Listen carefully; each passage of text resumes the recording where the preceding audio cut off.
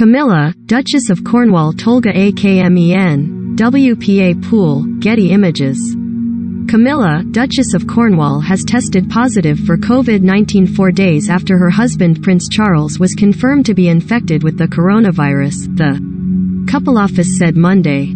Clarence House said Camilla was self-isolating. Charles has been isolating since he tested positive on Thursday, but Camilla had continued with public engagements while taking daily tests. Both Charles, 73, and 74-year-old Camilla are triple vaccinated.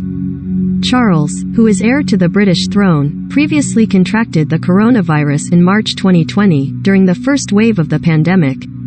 Charles is believed to have met with his mother Queen Elizabeth II early last week when both were at Windsor Castle.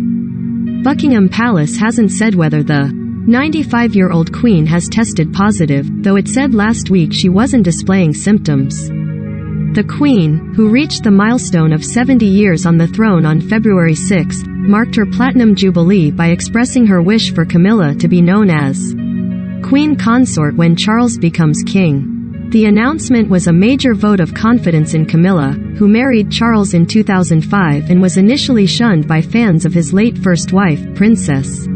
The British public has since warmed to her down-to-earth style and sense of humor.